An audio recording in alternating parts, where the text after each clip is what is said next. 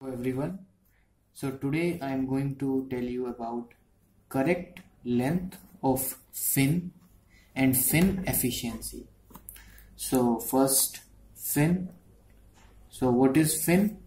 Fin are the extruded surfaces which are used to increase the rate of heat transfer from a body.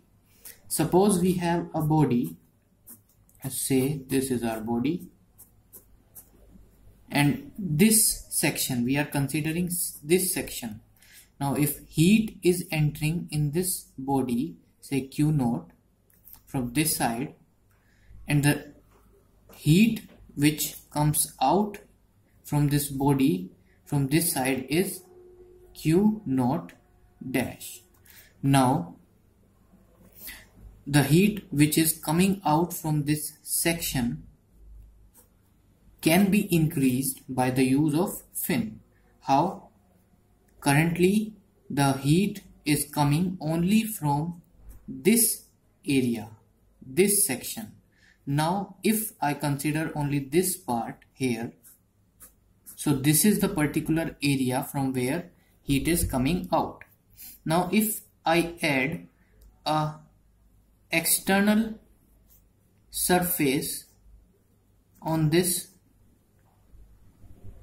side. Now the area from which heat will come out increases. How? Because earlier the heat was coming out only from this particular area. As we know q is equals to h a t minus t infinity where A is the factor which is responsible for increasing the rate of heat transfer from a material or any body. Now earlier the area was this much but now we have added a fin this extruded part or this ex, ex extended part is called fin. Now the area from which heat will come out includes this particular area also and behind and everywhere. This whole area plus this area. So the area has increased. These can have various profiles and depending on profile and type of fins the area can be uh, the area can be changed and efficient and efficiency and rate of heat transfer can be increased. So what correct length of fin means? Now suppose this is of length L. So as we know that this L, this is say thickness, this L is very very larger than this T. So in cases where we want to solve numericals or other problems, we generally consider thickness very less so we neglect. But in the real real cases or in the reality the correct length is not L. It is different. And what difference is that? That L correct is the length of L this L plus we have to take this tip also. If the tip does not have insulation then its length is also considered in the conduction of heat process. So this for this length say this is T and the value of T is equals to area of this surface upon perimeter. A is area and P is the perimeter perimeter of this surface. So this thickness is important. Now we divide it by 2. Why? Because we are taking this t whole t and dividing it half portion in the upper side and half portion in the lower side. So we are adding this thickness also in the length half in the upper body of this fin and half on the lower body of this fin. So the actual length or the correct length is length this length plus the thickness by divided by 2 and this thickness is coming from area divided by perimeter of the fin.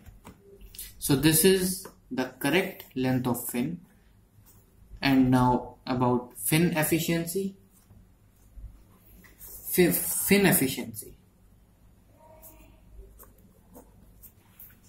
Suppose we have this surface, this surface, and here we have one fin.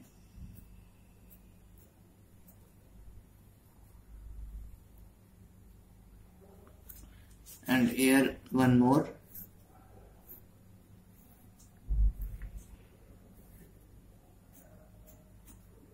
This is it.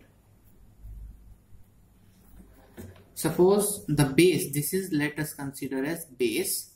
This is base suppose here base has a temperature of 90 degree now if I consider this material having conductivity infinite infinite conductivity means it has very less or no resistance for the flow of heat. So if it has infinite conductivity, that means the temperature is same everywhere in the material. 90 degree at this point, 90 degree at this point, 90 degree at this point, and 90 degree everywhere on this material. Say this is fin material or fin. So 90 degree temperature everywhere. This is the case of ideal, ideal fin. And suppose this material does not have conductivity infinite. So if base temperature is 90 degree, then at this point the temperature may be 85 degree, this point it may be 80, at this point it may be 75 and here till tip it would be say 60 degree so how what what do you mean by fin efficiency comes from this point like for the for, for the formula of fins we have q is equals to h a t minus t infinity where T is this base temperature. So I writing B, T base minus T infinity. Now the maximum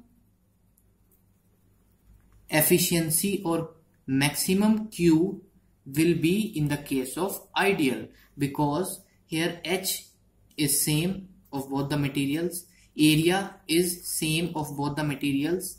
Now if the case is of ideal fin then temperature is not changing it is same everywhere. So from each and every point of the surface the heat convective heat QC, uh, Kc will be same because this temperature difference is not changing at any point. 90 minus say the infinite temperature we are considering 20 degree in both the cases.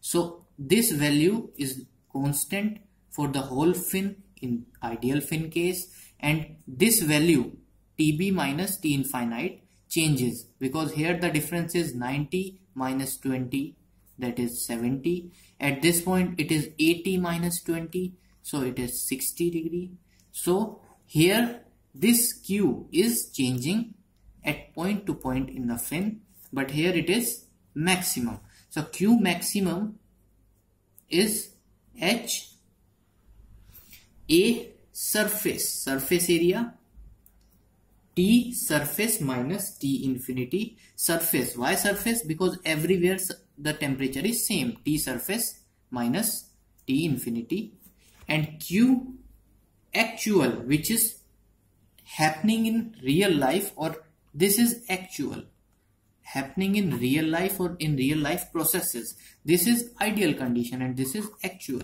q actual is h a area of fin T naught minus T infinity. T naught is the temperature of different points minus infinity.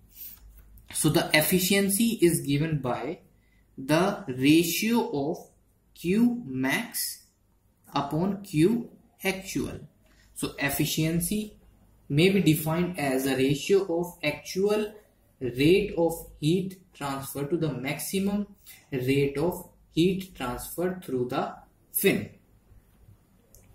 So this is h as minus t infinity upon h a fin t naught minus t infinity.